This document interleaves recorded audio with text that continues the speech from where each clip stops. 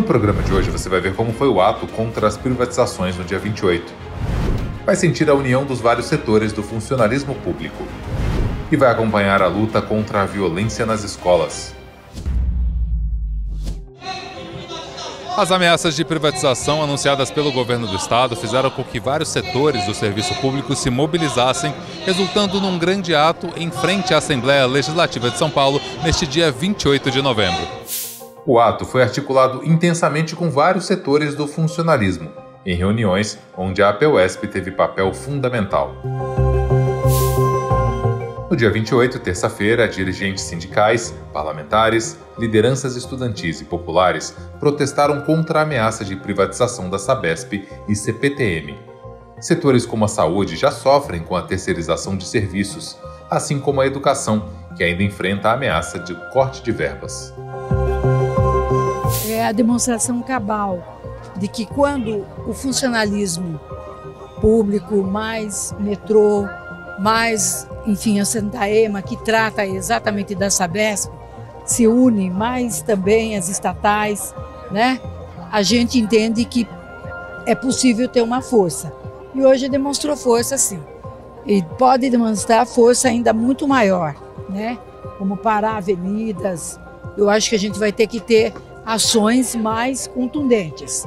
De qualquer forma, com medo né, de levar alguma coisa, que está fazendo o presidente da Lesp? Já antecipou. Era para ser dia 5 e jogou para o dia 4, ou seja, vez de terça, puxou para segunda-feira, para poder dar tempo né, de votar a Sabesp e as verbas da educação. Nós temos seis, seis sessões para pedir vista, tá? Então nós vamos pedir vista e já e vamos, eles vão pedir para voltar, e na outra a gente vai lá e pede vista, pede vista para ir é, pro, é, prorrogando para o ano que vem. Não tenho certeza, é possível, pode ter manobra regimental, mas é impossível porque pedido de vista também é regimental, né? Então vou jogar no máximo com isso. Tenho voto para ler, né? E a gente está buscando ainda saídas para tentar prorrogar ao máximo, né? essa, essa votação das verbas da educação e também, claro, fazer com que o governo na casa não tenha voto, tá? Suficiente que ele vai precisar de 57 votos. Até agora só chegou nos 53, né? Então, acho que a gente tem uma margem. Se a gente trabalhar direitinho, nós vamos conseguir, né, é, fazer a diferença sim.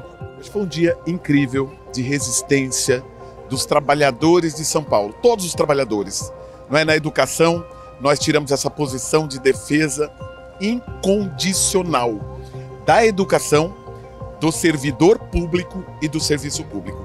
Porque o que está na Assembleia Legislativa é um ataque a todos. Né? É a redução de 10 bilhões da educação. É um crime, porque toda a sociedade paulista, paulistana, todo o povo de São Paulo sabe que a nossa escola pública precisa de mais investimento. Nós temos escola de lata ainda. Nós temos problema básico de estrutura. O professor de São Paulo não ganha o piso salarial profissional nacional, que é uma lei brasileira. E aí o governador apresentar um projeto para retirar dinheiro da educação é surreal. Nós, professores e professoras, não podemos, né, de maneira alguma, deixar que a redução das verbas aqui na educação ocorra no estado de São Paulo. As escolas paulistas carecem de infraestrutura, carecem de funcionários, carecem de, os professores carecem de carreira, de bons salários, para que nós tenhamos, inclusive, o poder de atrair os bons professores para a rede. Carece de uma série de coisas. Então é inadmissível que o secretário da Educação, assim como o governador, venham propor a redução das verbas da educação, assim como também a privatização da água no estado de São Paulo. Água, transporte, educação não se negocia.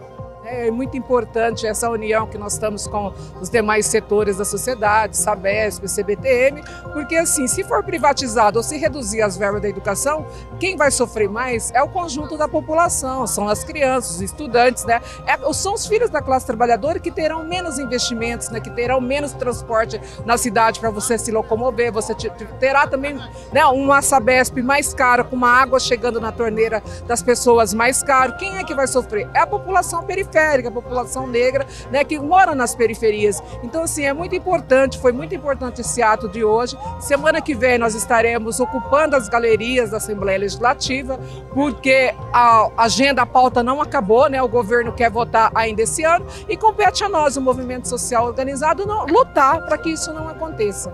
A direção do movimento orientou para que todos pressionassem os seus deputados a votarem contra a privatização, o que vai gerar um grande movimento nos próximos dias aqui na Alesp. No dia 24 de novembro, completou-se um mês do assassinato da estudante Giovana Bezerra na Escola Estadual de Sapopemba, na capital.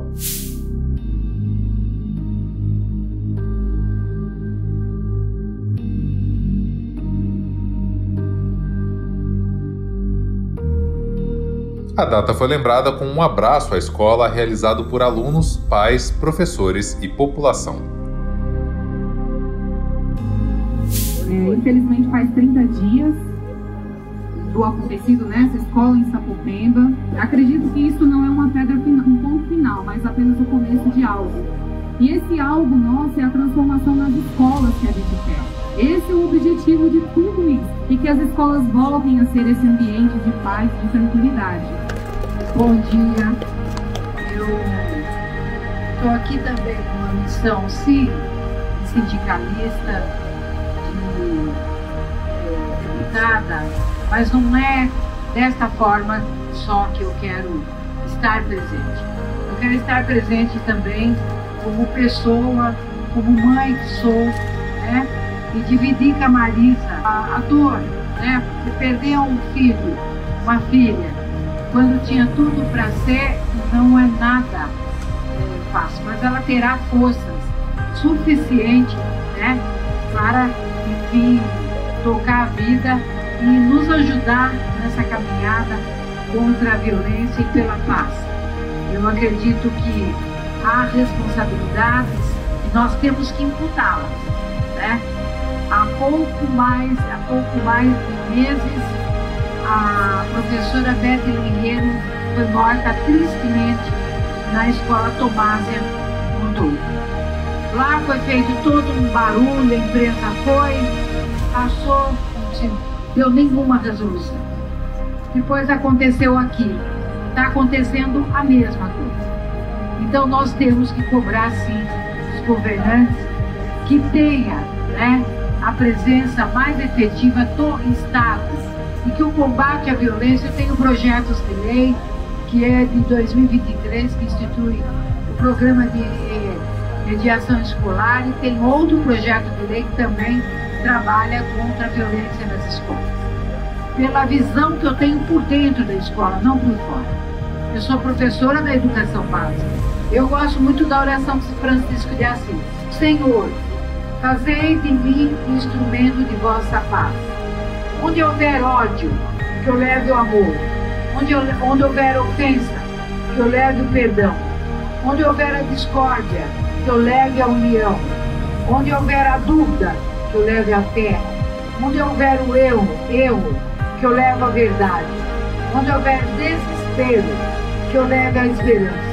Onde houver tristeza, que eu leve a alegria. Onde houver trevas, que eu leve a luz. Ó Mestre, Fazei que eu procure consolar mais que ser consolado, compreender que ser compreendido, amar que ser amado, pois é dando que se recebe, perdoando que se é perdoado e morrendo que se vive para a vida eterna. Amém. Giovana presente. Presente. Giovana presente. Presente. Giovana presente. Presente. Sempre. Muito obrigada.